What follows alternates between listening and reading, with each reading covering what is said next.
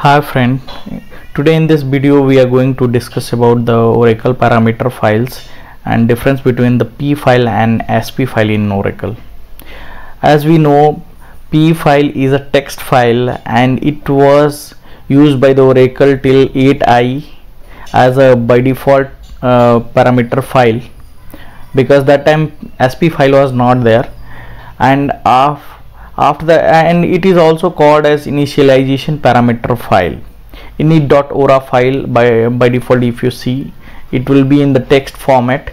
And uh, p file is a, a, read of instance startup to get the star, uh, specific instance characteristics. If you wanted to see you have to open it uh, in in a vi mode or any uh, if you are using a unix platform then you have to open it through vi or if you are using a window then you have to open through notepad. And there you can see all the instance specific characteristics and that instance database uh, instance name and uh, um, SGA related all the component parameters will be um, specified over there as an initialization param parameter by the name you can understand. But if you wanted to do any changes you you can do it through vi or notepad.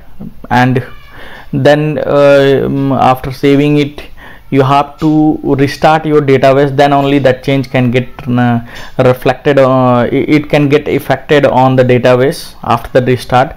But 9 uh, 9i onward uh, oracle has introduced sp file.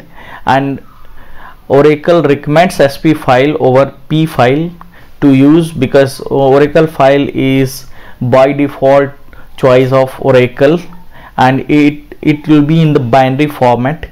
It contains the same information as old p file. Sp file permits the dynamic changes without requiring any restart of the instance. That's by default.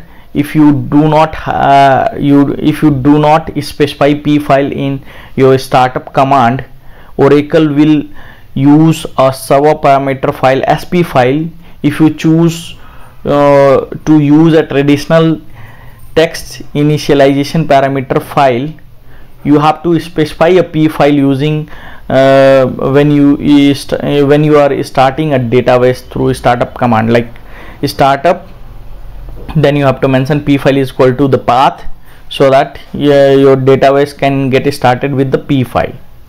And also uh, as we know um, through p file you can create a uh, sp file and through sp file you can create a p file.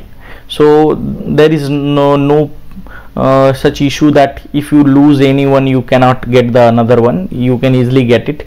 So p file is a different from p uh, p sp file is a different from p file in that it can be directly edited. It it cannot be directly edited because it has a header and footer that contains a binary value since you cannot change the sp file. Uh, oracle allow to manage a uh, sp file through uh, alter system command like uh, through command prompt you can execute alter commands and do the changes on your sp file parameter. And that also have a similar values that p file contains. So you can do that modification and uh, that can get uh, reflected uh, effect uh, it can get reflected without doing the restart. So there is a mm, particular way of doing that like alter system set session is equal to 20 and then scope is equal to sp file. There is a three way to do that. Uh, if you specify sp file then that changes will get uh, reflected to the uh, dynamic parameter. And if you mention scope is equal to memory then that changes will get reflected only to the memory. And if you mention scope is equal to both then that changes will get reflected to the p file as well as memory both. So let's see that same thing on practicals like oh uh, I'll be connecting this database SQL plus this is dba now we are connected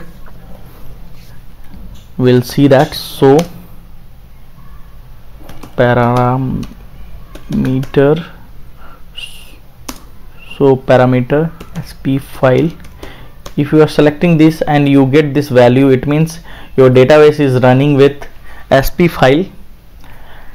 If you uh, if you did not get any value it means your database is running with p file. So in our case it's running with sp file. And uh, let's see so para parameter db underscore name. By this you can see the db name. Yes the value is orcl string db name. So this is the way that you can uh, see your uh, location of your p file and the db name. So yeah this is the way to check that whether your database is running with p file or sp file. For p file generally you you you can create it also like uh, if you have a p sp file and if you don't have then you just you have to mention create p file. P file from sp file. By this you can create it. So in my case i have already existing uh, p file so i'm not creating it just i was showing it. So thanks for watching till here